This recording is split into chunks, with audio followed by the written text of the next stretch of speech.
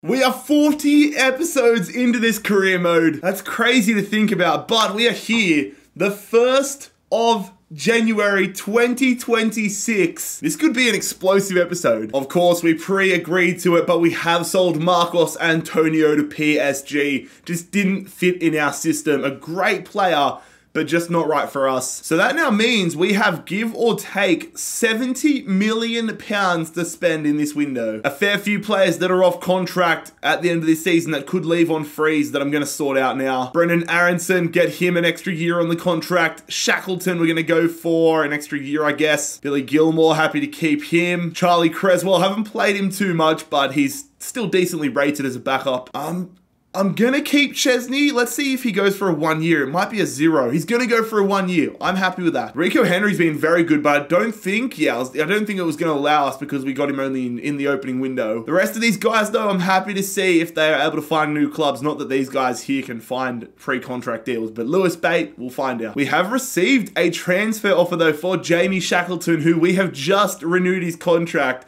It's from Brighton. We're to reject that one. In terms of players I want to get out, Edmondson, want to get a loan for Oakley. Jenkins, McGurk, these guys I don't mind if we sell them. But I'm honestly debating what to do with the starting 11. We've been up and down this season. I'm thinking, honestly, I'm thinking a new starting goalkeeper. Krupa's been okay. I don't know, man. I don't know. We could go for like a 90 rated player that could change everything, but also Krupa could get up to like an 86, 87 by the end of the season. So I'm uncertain with that one. In the bench, we could go for a backup centre half. I don't know. There's not really a load for us to do. This team's looking pretty good, so we'll see what comes through and really use the next few games as a barometer. So two transfer offers coming in here. One from Real Madrid for Cristian Romero, which I am going to reject. Inter Milan offering us 1.8 million pounds plus Romelu Lukaku for Dominic Calvert-Lewin. I can't do it, man. I love DCL. DCL, I'm kind of like Sad that he got injured last year because he could have been a hero in this career mode. But first, lads, we have our opening game of the 2026 calendar year. We are at home, we are in the Premier League, and we're looking to get ourselves into the top four as we face Watford. All right, taking a look at our starting 11 for this game, it is an extremely rotated game. Our last game against Man United was only a few days ago, so a lot of players tired. We've got a game against Luton Town in the FA Cup coming as well, though, so I could still get some of the big guys on there, even if they are a little bit tired. Now, for a look at Watford, they're not the toughest opposition in career mode, but we need, we need to be locked in still. Every game just got to take it on its merits, got to get three points and continue the good run of form we have been on. Who do they have up top? They got Cooter up top, so it's a moderately decent side. Origi on the bench. Get it through. Oh, it's brilliantly played in behind there. Jack Grealish putting it in. Alvarez kicks it straight into the bloody defender's back. What am I doing there? Well read though from Max Kilman. Shackleton driving through, going here, laying it, Lemar! Oh, that is brilliant football. We are locked in early on here. We almost score with Alvarez, and then we go straight back up and get ourselves the lead. Konrad Laimer, is that his first goal he scored as a Leeds United player? That was put on an absolute platter. Need to defend here, lads. We've got the lead. We need to hold on to it, though. They switch it there. They're passing it brilliantly. It's fallen right to them. And Krupa makes an awesome save. Corner for Watford. Corner for Watford Football Club. Get it away. Nah. Oh my god. Good tackle there from Max Kilman. Bloody cruncher. Win it, Kilman. He's having a bell to Maximilian. Old fella Max. Going to Calvert-Lewin here. Who's going to turn? Calvert-Lewin. That's a terrible... What a touch. Alvarez. Bissouma. Bissouma blocked. Where's the ball? This game's been chaos, man. Calvert Lewin trying to turn. Calvert Lewin save. Got to defend. Oh, good stuff, Bissouma, but it's come right back to them. Domingos Quina. What? What is that save? What is that save? What is that animation? My brain just like turned off. I was trying to talk and it sounded like I was having a stroke. And they have just scored a goal that makes Krupa look like he's had a stroke. That is frustrating. I had to defend somebody. They play it through. Oh my god. How can he make diving saves that are just like he's reading the play, yet we can see those ones? That is frustrating. All right, corner for Watford here. It's whipped in. Get it away, Rico. No, it's not getting it away, and we're falling over each other. Oh my god, how has that one fallen to them and how they put it over? This game is broken. Got to defend. Nah, they've got the shot and they've scored! Oh my god! Where has this come from? Watford are crushing us right now. Dominic Domingos Quina is destroying us. All right, time for a couple of big dogs to come back on. bringing on Brahim and Vlahovic for the last 20 minutes. We need to wake up. Come on. Alvarez. I see Rafinha. Rafinha, please. Oh, it's a tough angle to begin with, but that would have been awesome. Bruh, what is going on? What is going on? I can't get the ball off them, man. This second half has been so frustrating. Barcelona turning into prime. Well, yeah, Watford turning into prime Barcelona. And we're going to lose to Watford. That is not the start of the year we needed. This game was a tale of two halves. We could have been 4-0 up at halftime, and instead we lose 2-1. I have no answers. Transfer offer to somebody I'm very open to selling, and that is Jack Jenkins. He's already had two offers that he rejected personally. Let's see if he wants to go to Italy this time. DCL, it's another offer for him. It is from Roma, and it's another offer I am going to reject. Ooh, this is a big one to make. Benjamin Swift. Montpellier have come in here with a 14.2 million pound offer for our wonder kid. Now, for that type of price, it's not worth selling him. He is an absolute machine.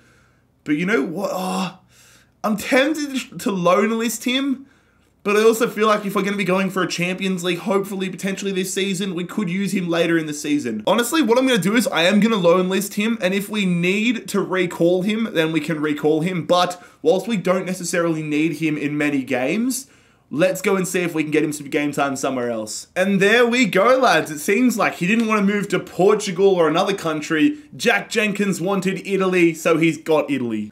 Just like real life, Tottenham want Bissouma but I do not want to sell Bissouma, rejecting that one. You guys might be looking at me like I am an absolute mug right now, asking why would you bother playing this game? I want to go on an FA Cup run. We have been dreadful, dreadful in every domestic cup this entire career mode. We've got Luton Town at home. I need a confidence booster on the park after that Watford game. And also, when you simulate home games, it feels like that you never get the result. Like you always lose home games, which makes no sense. So I want to play this game right now. So here is our starting 11. As you can see, very, very rotated, but a fair few of our starters in the side. We've got Phillips in there. We've got Calvert-Lewin in there. We're going to bring Romero back into the starting lineup. But it's a decent team. Luton Town almost got promoted to the Premier League in real life, and they have an okay side, to be honest. There's a few names I recognise in there. They've got Reece Burke, they've got James Bree, Shea in there, a few names on the bench as well. But it is a team that we should be beating. Jesus, they just took out their own player. Oh my god. Good ball over the top. Get it through to DCL. I don't know if he's onside. He's going to hold it up brilliantly. Go on here to Luka Romero. We got lucky there, but now we've got DCL in behind. DCL is going to give us the lead here against Luton Town. I've got to say, though, it is not a deserved lead. We have been playing pathetically. Luton Town have come out of the gates absolutely firing, but we get a very nice counter-attacking goal. Cornick going here to Adebayo. Going there to that corner guy again who forces a save out of Szczesny. On the attack. Good defense from Phillips. Could see that one coming a mile away though. Come on, do we have time for something on the counter attack here? Down the line, it's a nice ball to Aaronson. Look at the numbers coming forward. I see you, Swift. I see you, Swift. Oh, save Calvert-Lewin's gonna get the tap in though. Dominic Calvert-Lewin has himself a brace right on the stroke of halftime. Get that one out wide. Nicely done. Shackleton gonna softly go here to Benjamin Swift. Swift going to DCL, who's on a hat trick, using his body brilliantly and playing that one to Luka Romero. Luka Romero lost the angle, shoots it and scores it. Oh, we just hold the ball up, send the Luton Town defender off to the shops, coming back with milk, and there we go. Luka Romero is gonna add a third goal to this scoreline, and that was an awesome goal from him. I swear, I kind of feel bad for him, like. Every time he's played in this career mode, he has been phenomenal. We are going to make a substitution here though, lads. It is going to be Brenden Aaronson coming off, and Oakley, the Youth Academy kid, is coming off the bench for what I believe is his debut. Campbell, ball being played around. I see the run being made. Get rid of it. Come on, counter-attacking time. Good stuff there. I saw the run Swift. We're going to hold it up though. Oh, that's not where I wanted to go. You could see there was other options running through. I hold down Y and push it out there, and the game's automatically like, no, let's give it to the bloke that's fucking five meters offside. Dickhead. Got to defend. Addy going under, and they force the save out of Szczesny. I really want to keep a clean sheet in this game. Oh, well pressured. Well pressured. Going here to Oakley on his debut. He's going to lay it through to Swift. Swift is in behind. Swift. Oh, it's a good bit of defensive pressure. I probably should have taken it a shot earlier or a step earlier. There we go, lads. We're into the next round of the FA Cup. It's a bit of a confidence booster, although we didn't really play our best style of football. A win is a win. Transfer offer from Fiorentina for Dale Fry and 1.45 million pounds for Maximilian Kilman. Get out of here with that bullshit. I think I want to bolster the reserve centre back role. We saw that if something happens, we only really have Cresswell behind Maximilian Kilman. Champions League, there's going to be a lot of fixtures. We want to go deep in the Prem, deep in the FA Cup. I think it is a sensible decision to bring back Gianluca Mancini to the club. We can get him on a decent fee. If we can get him for 32.7 million pounds, that would be absolutely phenomenal. It hurt my soul when we sold him back a few seasons ago. Let's see if we can make it happen, lads. I think that would be a nice little moment for the rebuild and for the career mode. 32.4 million pounds. Please, Brendan. They want Kilman. You're not getting Kilman. You're not getting Kilman. The whole reason I want to bring Mancini back is so we have another option alongside Maximilian Kilman.